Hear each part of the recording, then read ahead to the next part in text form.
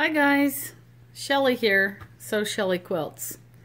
So I have my new Bernina Hoop N Buddyz hat hooping insert. I have just an inexpensive hat for the trial run. Um, I just picked it up at a local craft store. It's nothing wonderful. I've ordered some decent hats to use for after the fact. So I just wanted you to see how this works. So you take the oval hoop that comes with the machines and you set the inside to the side. And then now the new insert is this Bernina Hoop N Buddyz hat insert. And I'm going to put it in. And the directions say that when you first put it in, that arrow is just a little bit that way, which I can tell it is. And as I tighten it, oops, as I tighten it, it will get it lined up. So sure enough, I can see it moving. This is hard to do on a flat surface. I think I'll pick it up so that we can all see that together. This is my, there. So now those arrows are lined up, okay? So then the next step is to take a um, paperback sticky stabilizer. You know, one of those with the paper on it. So I've cut a piece that will fit the back of the hat. So I'm going to pull the paper off and expose the sticky side and stick it over this opening. Oops, let me get a little straighter.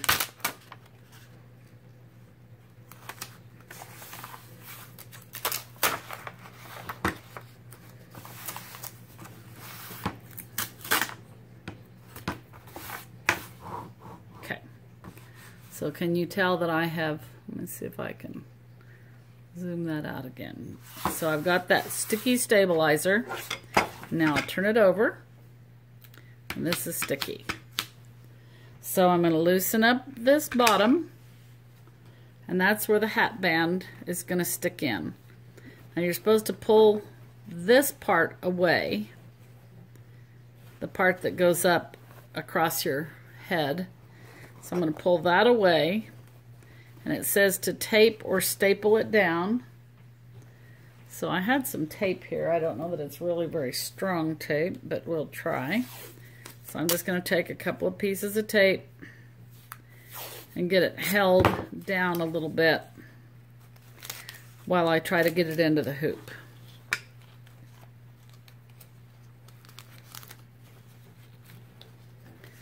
So that it's not up in that stitching area because you don't want to stitch through that. And so I'm going to turn that over now and you insert it into the hat holder. Okay. So I'm going to get my first screw down so that it's kind of held. And then I'm going to turn, let me pull the tag off this hat. I'm going to turn the hat inside out. So I've got that inside out. And I'm going to look up here at the line and try to kind of line up the center of the hat with that line. And then push it down on the sticky. So I'm going to get it turned inside out and push that down on the sticky. It doesn't feel just 100% secure, but it's probably secure enough. That is, it is what it is. So now we're going to go over to the machine. I'll be right back. Okay, so now here we are at the embroidery machine and I've got my design in and in fact if I go back to the edit you'll see that I've actually told the Bernina 880 that I'm using that Buddyz insert.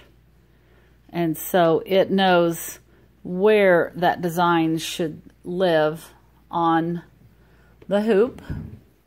So we will now put the hoop on. So here we go.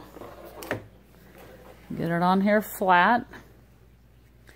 And I'm going to hook it on. and we want to do some positioning. So on the screen, I'm able to tap where those needle positions are and look to see. Let's find the very center, and it looks to me like I need to move my design over, Oops, not down, over a little bit so that that needle is on that center line. So now that should be um, done correctly. Let me zoom way in and make sure I'm actually looking at the center line. Oh, I wasn't. So let me touch the crosshair. The very center crosshair down there. There we go. And now I'll zoom back out and we'll look over here and get that needle exactly. And then I want to see where the bottom is going to land there. That's fine. Let me zoom out. And the bottom over here, that looks fine. The top up there, that looks fine. Okay, so I am ready to stitch. Now, the first color that's going to stitch is white. So, I need to get my white thread on. And of course, I don't have that out. I'll be right back. Okay, so I have my white thread threaded now. And the first thing that's going to stitch is a solid white background, but I'm not confident that it's going to cover that red hat. So I have a product from OESD called Top Cover. And it comes in a package, 20 sheets with black, cream, and white. So I'm going to take this white top cover and let it stitch that first um, white over this. And that way I'm sure that the red won't bleed through the background. So here we go. Now the other thing is I was very careful to turn off that cool new tool called Thread Away. And that Thread Away is um, where it would cut the thread and then move that stitch arm away and then come back. There's our top cover put on. And then I'll pause the machine in a second when it's all stitched down and tear the excess of that away. And what that's doing is making a white layer underneath um, so that it will make sure that the red did not bleed through the stitching. So,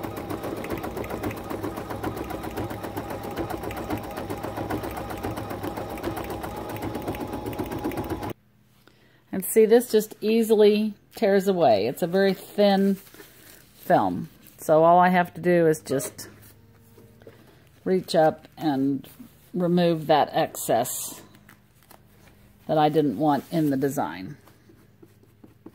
I'm not going to worry about those little pieces that look like that. And then we'll just start sewing again. I can speed this up and I'll come back when the next color is ready. Okay, so we're on the last stitch. It's doing its job and then I will show you how um, to get the hat out and how cool it looks. So I'll be right back. Okay, so here we are. I've got my logo for the Bernina Academy. Uh, Bernina Academies are awesome. Check with your Bernina dealer and see when they're having one or if they are. And so I'm loosening here and I'm going to pull the hat out. I guess I'll get the sticky stuff off. Oh, look, it was a tearaway. I may just tear it out and I could patch that hole and use it again. Haha. -ha. That would be a good thing. So I'll just tear the design out and then I'll be able to use that stabilizer again just by patching it. So let me loosen the brim and get it out. And look what we've got that tape that was trying to hold the fabric out of the way came off. So there's the inside of the hat and the outside of the hat. I think it looks pretty cool. So the Bernina Hoop N Buddyz, that's how you do it. This is Shelly with Sew Shelly Quilts.